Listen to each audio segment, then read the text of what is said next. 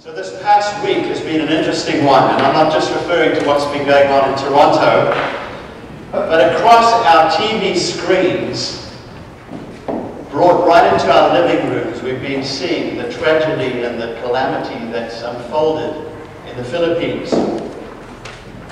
How do you feel, how have you felt as you've watched people going through this incredible suffering? People losing their homes, millions of people. And I'm not sure what number two is correct, but 3.5 thousand to 10,000 people having died in that typhoon.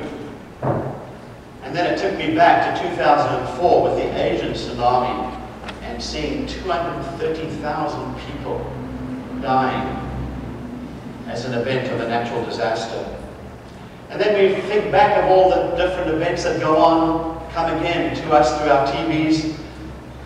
The suicide bombings, the killings at schools, the mowing down of people in the malls, and all other such craziness.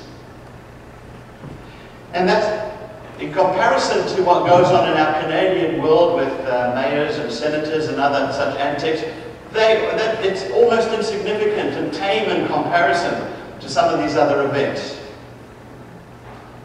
Just what is going on in this world?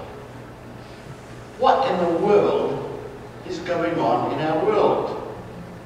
And how do we interpret what's going on to the skeptical people in, in the world? What are we meant to do? What are we meant to say? How do we minister to those who are hurting? To those who ask, where is God? And how can you believe in a God who inflicts such misery and suffering on people in this world?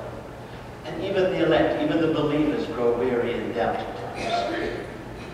So, today, I'm going to ask this question as the skeptic, Mr. Preacher Man, who's going to go up there in a minute. What is going on, and how can you believe in a God who allows such things to happen? So my first response would be to